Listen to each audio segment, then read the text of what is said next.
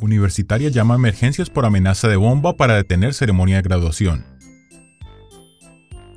Un estudiante de la Universidad de Quinnipiac que no quería que sus padres se enteraran que ella no se graduaría llamó a emergencias momentos antes de la ceremonia para denunciar una supuesta bomba en el lugar. Daniel Shea, de 22 años, se matriculó en la Universidad de Quinnipiac, una escuela tan rigurosa en sus estudios que acepta solo el 45% de todas las solicitudes.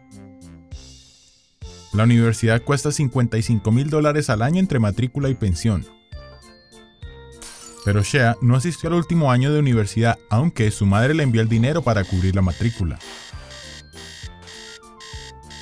El día de graduación llegó y la familia de Shea se dio cuenta que el nombre de su hija no figuraba en la lista de graduación. Shea se asustó y llamó a emergencias. La policía afirma que Shea hizo dos llamadas al Departamento de Seguridad Pública de la universidad justo antes de que la ceremonia de graduación comenzara.